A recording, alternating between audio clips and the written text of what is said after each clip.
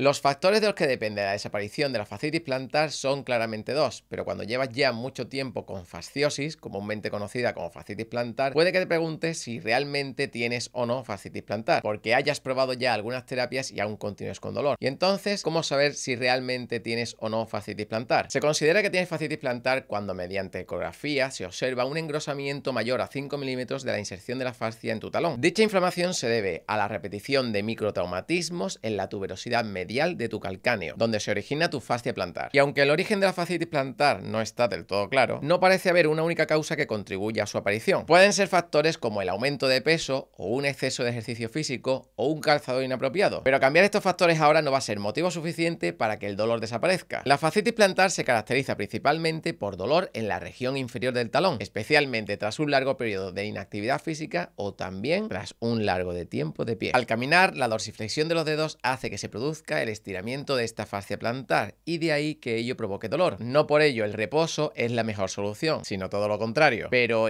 ¿y si no le das descanso al pie porque evidentemente tienes que seguir trabajando o porque quieres seguir practicando deporte? Entonces, ¿cuánto tiempo tardará en recuperarse tu fascitis plantar? El tiempo de recuperación de esta patología es prolongado. Solamente existen dos terapias que pueden ayudarte en su tratamiento, como ya te expliqué en el vídeo de las terapias que te van a ayudar a eliminar tu fascitis plantar. Si no lo conoces, te lo dejo en los comentarios. Pero si quieres conocer los dos factores de los que depende la desaparición de tu fascitis plantar, quédate hasta el final. La fascia soporta y mantiene el arco plantar, además de ayudar en la supinación de la articulación del tobillo. Almacena energía gracias a su comportamiento viscoelástico y la transfiere liberando dicha energía durante la propulsión desde el tríceps sural hasta los dedos de los pies. Sabiendo esto, ¿piensas que es peor tener el pie cabo el pie plano. ¿Puede ser ello la causa de tu fascitis plantar? Kogler y sus colaboradores afirmaron que, aunque el pie tiene una apariencia arqueada, estructuralmente no es un arco verdadero, ya que no puede mantener su forma arqueada únicamente como producto de su propia geometría, sino que el arco plantar depende en gran medida de los tejidos blandos que conforman tu pie, y además desempeña una función de amortiguación en las fuerzas que aparecen en la fase de despegue tanto al caminar como al correr. Durante la marcha, el salto y la carrera aparecen una serie de fuerzas que estresan el pie y además modifican este arco. Y una buena orientación de la fascia es importante porque permite que el pie se acomode al suelo, ayude a controlar la pronación y supinación, estabilice el arco plantar y además es capaz de distribuir el peso que se ejerce de forma equitativa entre todos los metatarsianos. Si la función del arco no es correcta, independientemente de que tengas un pie plano o un pie cabo, aumenta el estrés del tejido fascial mermando dos de sus funciones principales, la de proporcionar la mayor eficiencia posible en la propulsión al caminar y absorber el impacto al correr. Este impacto durante la marcha o la carrera puede llegar a ser hasta dos veces tu peso corporal. Pero lo que no sabías es que donde más sufre tu pie no es por el impacto con el suelo, sino por las fuerzas internas que se generan, como te digo en este otro vídeo que te dejo en la descripción. Y entonces, ¿cuáles son esos dos factores de los que depende tu recuperación? Kibler y sus colaboradores estudiaron la fuerza y flexibilidad de los músculos responsables de controlar las fuerzas en el pie. Y para ello modificaron el entrenamiento de una serie de atletas con y sin fascitis plantar. Observaron que el rango de movimiento y la fuerza del pie era significativamente inferior en aquellos atletas que tenían fascitis plantar. Entonces no te será muy difícil concluir que estos dos factores son clave para la desaparición de tu fascitis plantar. La ganancia de fuerza de tu pierna y pie, como te digo en este vídeo que te dejo en los comentarios, y el otro el rango de movimiento de tu tobillo, que si quieres aumentarlo te dejo otro vídeo más en la descripción de este vídeo. En el metaanálisis que te presenté la semana pasada sobre las terapias que de verdad funcionan para eliminar tu fascitis plantar, todos los artículos concluían en que la diferencia más significativa fue que el 90% de las personas que consiguieron eliminar su dolor por fascitis plantar